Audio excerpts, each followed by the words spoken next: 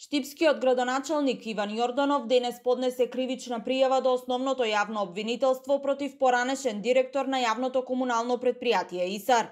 Според Јорданов, во време кога јавното предпријатие имало долг од 5 милиони евра, екс-директорот Живко Тасев ја злоупотребил службената положба и набавил метларка во вредност од 90.000 евра. Во прилог со пријавата се доставени докази кои според Јорданов укажуваат на основано сомнение за наместена и договорена јавна набавка на нефункционална метларка.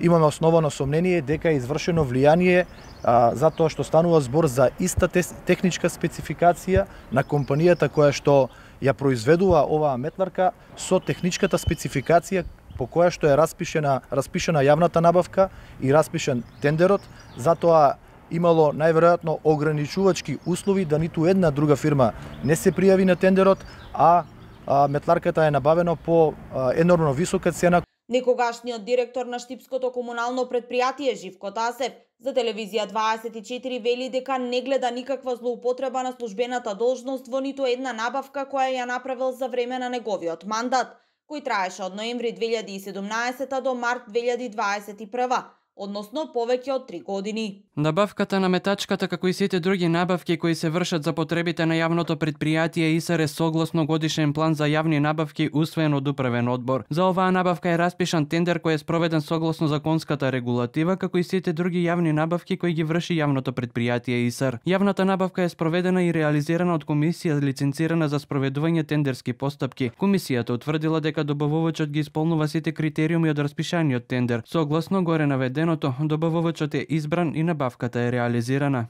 Инаку, Штипскиот градоначалник најави дека во следниот период ќе поднесе и други кривични пријави до основното јавно обвинителство за сторени кривични дела кои ги утврдил ревизорот при извештајот што е доставен до општина Штип.